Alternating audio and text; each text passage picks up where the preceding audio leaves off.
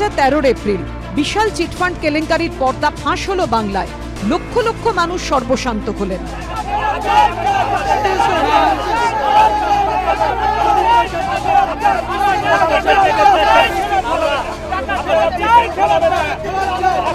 হাজার হাজার কোটি টাকা উধাও। তারপর কেন্দ্রীয় তদন্তকারী সংস্থাগুলো জোর কদমে তদন্তে নামলো। রাজ্য সরকার আইন তৈরি করল, কিন্তু তারপর এখনও রমরমিয়ে চলছে চিটফান্ড কারবার। এর দায় কার? রাজ্য সরকারের এজেন্সিগুলির, কেন্দ্রীয় সংস্থাগুলির, দুপক্ষেরই।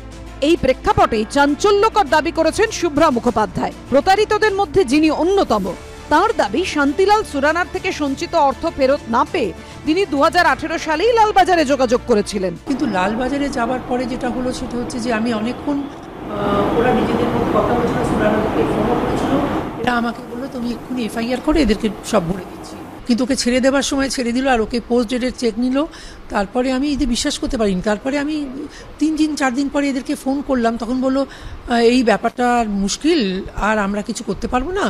এখন এখন আপনি কোর্টে গিয়ে যা করার করুন। আমাকে যে ছেলেটি খুব হেল্প করেছিল, রাত্রেবেলা নিয়ে গেছিল, ও অনেক চেষ্টা করেছিল, কিন্তু কোনো জায়গা থেকে ওর এমন একটা প্রেশার হলো যে ওই পরে বলব যে আমি আর পারব না সরি আপনাকে তো আমি হেল্প করেছিলাম অনেক, কিন্তু কোনো কারণে কিছু হবে না, আপনি কোর্টে যান নানা মহলে প্রশ্ন হলো, অভিযোগ জানানো মাত্র পুলিশ কেন ব্যবস্থা নেয়নি? গ্রেফতার করতে চার বছর কেন লেগে গেল?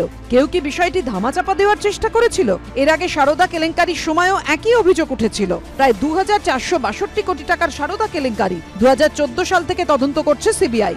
আট বছর ধরে তদন্ত চলছে তো চলছেই। প্রায় পনেরো হাজার কোটি টাকা রোজভ্যালি কেলেঙ্কারি। দুহাজার চোদ্দ সাল থেকে তদন্ত চালিয়ে যাচ্ছে সিবিআই। আট বছর হয়ে গেল সিবিআই তদন্ত শেষ হওয়ার নাম নেই। হাজার হাজার কোটি টাকা কোথায় গেল? কোন রাঘব বোয়ালদের পেটে গেল? চিটফান্ড কেলেঙ্কারির টাকার সুবিধেভোগী কারা? কোন প্রভাবশালীর মদতে হাজার হাজার মানুষ নিঃস্ব হলো? তদন্তে কোনো উত্তর এখনও অবধি নেই। যে সমস্ত হেভিওয়েট রাজনীতিবিদের নাম জড়িয়েছিল এই সব মামলায় তারা প্রত্যেকেই এখন জামিনে মুক্ত। শুধু সুদীপ্ত সেন ও গৌতম কুণ্ডু এই দুজন জেলে। প্রতারিত মানুষ তারা যেন ব্রাত্য।